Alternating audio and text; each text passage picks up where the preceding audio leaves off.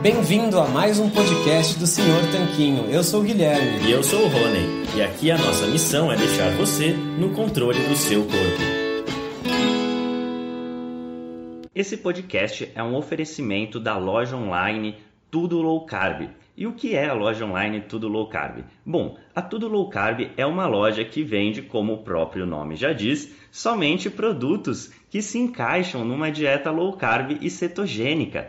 Lá você vai encontrar de tudo, desde farinhas, farinhas de amêndoa, farinha de amendoim, farinha de coco, farinha de linhaça, adoçantes, xilitol, eritritol, estévia, dentre muitos outros temperos e produtos naturais feitos com comida de verdade. O mais legal é que a gente conhece a dona, é a Eliana, a gente já até entrevistou aqui no podcast, e a Eliana nos garantiu que ela está sempre procurando na internet para garantir que a Tudo Low Carb tenha os melhores preços dos adoçantes xilitol, eritritol e da farinha de amêndoa, que segundo a gente são os ingredientes mais importantes se você quer fazer receitas low carb.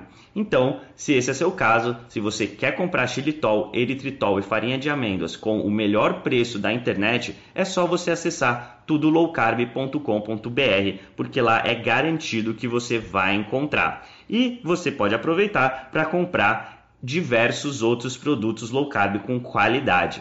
Este podcast também é um oferecimento do Aikito. E o que é o, o Aikito? Bom, o Aikito é um aparelhinho que serve para medir o seu nível de cetose através do hálito.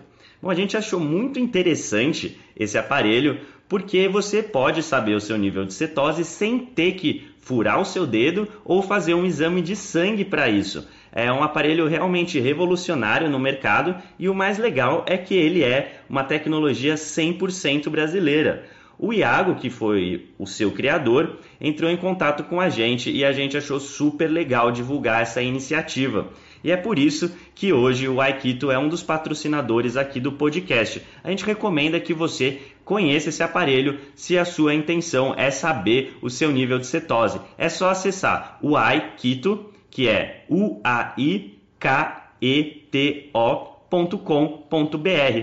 e ele tem esse nome porque, além de ser brasileiro, ele é mineiro, então nada melhor que um trocadilho, o Aikito.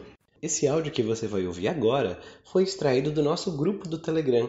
Lá a gente compartilha gratuitamente dicas e sacadas e informações que não saem em nenhum outro lugar. E de vez em quando, aqui no podcast, a gente vai pegar alguns dos momentos que os leitores mais gostaram e compartilhar com você. Se você quiser fazer parte desse grupo, é grátis, é só você acessar senhortanquinho.com/telegram. Você vai estar inscrito assim no nosso canal no Telegram. É muito bom, é grátis, tem várias dicas, a gente avisa dos novos textos e vídeos também. É super tranquilo, recomendo que você faça isso. E vamos lá para o episódio de hoje. Fala Tanquinho e Tanquinha. Hoje a gente fez uma enquete no nosso Instagram perguntando quantas pessoas já tinham saído da dieta na quarentena. E sabe quanto foi a resposta? Na verdade, 78% das pessoas, quase 80% das pessoas, já tinha saído da dieta durante a quarentena. Isso é de se preocupar e tal, porque a gente nem sabe quanto tempo foi, quanto tempo falta, né? Quanto tempo do total essa situação vai durar. Mas o problema não é sair um dia ou outro, nada de errado com isso. O importante é que você faz a maior parte do tempo. Porém, muita gente que sai da dieta acaba não conseguindo voltar. A gente sabe disso, a gente tem milhares de alunos e clientes, então a gente fez a seguinte pergunta também nos stories do Instagram, se a pessoa conseguiu voltar. E aí, metade das pessoas não conseguiu. Então você vê aí, 80% das pessoas que respondeu a enquete saindo da dieta e metade delas não conseguindo voltar.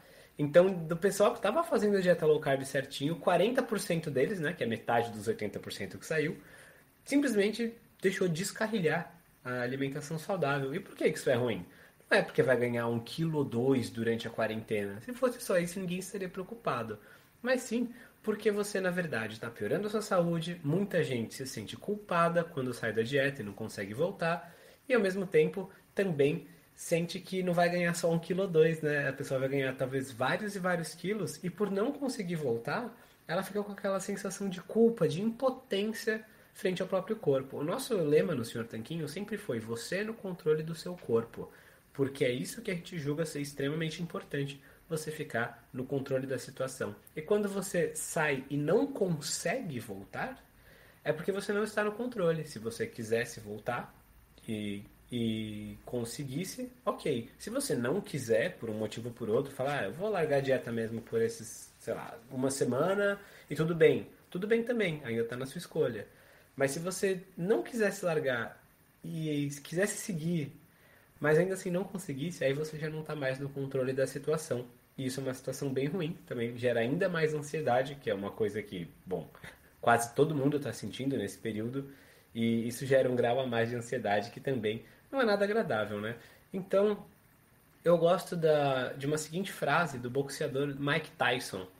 Ele, bom, é um boxeador, então é natural que as frases dele tenham teor ligado ao boxe, né?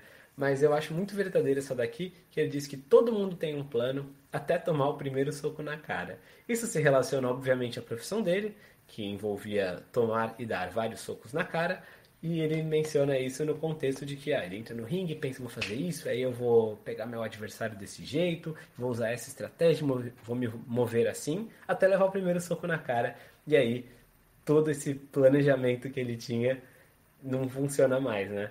No nosso caso, na nossa vida, eu espero que a maioria de nós não esteja levando muitos socos na cara literais. Porém, a gente acaba levando de maneira figurada, no sentido de que a gente faz nossos planos, é, pensa em como que as coisas devem acontecer e aí elas acabam acontecendo muitas vezes não da maneira que a gente planejou.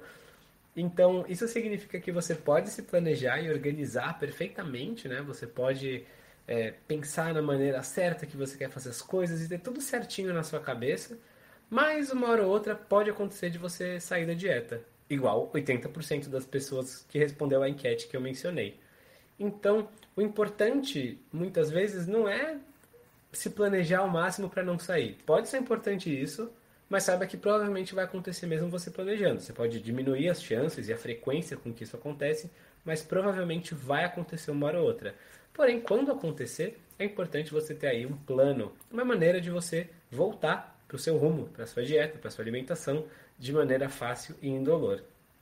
Então, é, uma dica que a gente dá, é, na verdade são cinco dicas que a gente dá, a gente escreveu sobre elas um artigo sobre cinco dicas, cinco estratégias, cinco maneiras para você voltar à dieta depois de sair dela, depois de uma jacada, é, a principal das dicas, eu vou deixar o link com o artigo com as 5 aqui embaixo para você ler depois, mas a principal das 5 é você voltar o mais rápido possível. Você lembrar que já na sua próxima refeição, na sua próxima ocasião de se alimentar, você pode voltar para a alimentação. Você pode montar um prato que seja adequado com seus objetivos.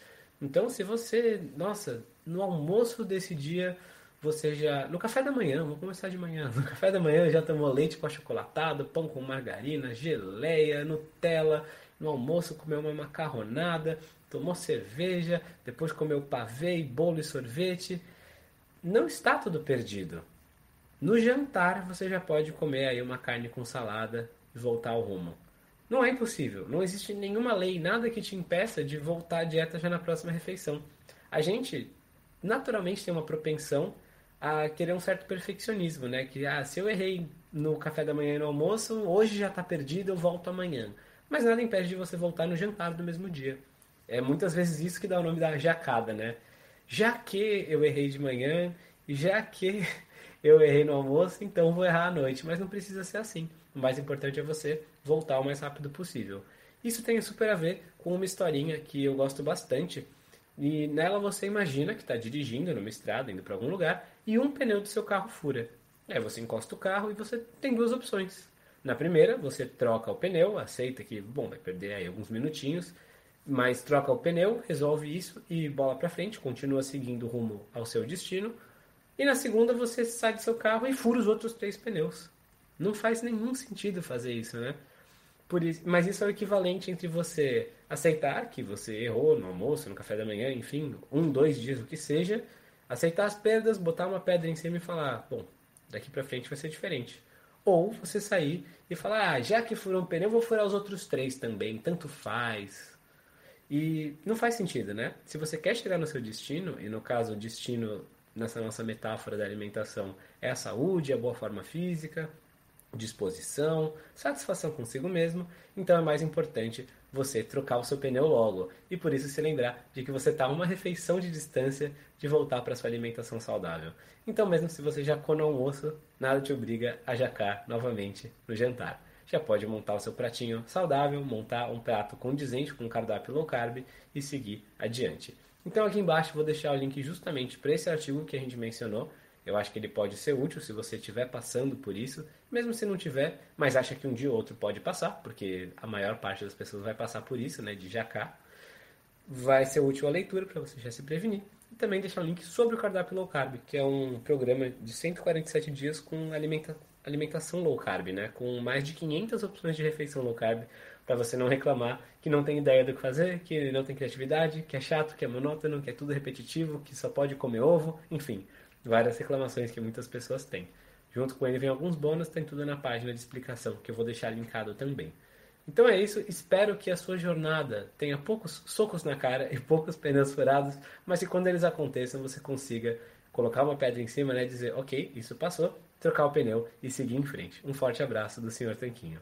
Fala Tanquinho e Tanquinha, esse podcast está sendo oferecido a você por nós. Isso, por mim e pelo Rony e pelo nosso programa Guia Dieta Cetogênica. O Guia Dieta Cetogênica é um curso em vídeo com todas as informações passo a passo para você seguir uma dieta cetogênica de sucesso. E como bônus para você que escuta os nossos podcasts, a gente colocou dentro do programa, na área de membros especial, todos os nossos produtos já publicados até hoje. Então, são dezenas de livros de receitas, são centenas de receitas, tem também o nosso livro de texto e teoria, né, das 120 dúvidas sobre alimentação saudável respondidas, que foi elogiado inclusive pelo Dr. Souto, pelo Rodrigo Bomeni, pelo Danilo Balu e por vários e vários convidados que já passaram pelo nosso podcast. E tem tabelas, infográficos, textos explicativos, resumos em PDF, um grupo secreto no Facebook e muito, muito mais. Então, convido você a conhecer o nosso programa Guia Dieta Cetogênica. O jeito mais fácil de fazer isso é acessando senhortanquinho.com barra GDC. Letra G de guia, D de dieta e C de cetogênica. senhortanquinho.com barra GDC. Você vai ter acesso ao programa completo e a gente vai amar te receber lá dentro da área de membros.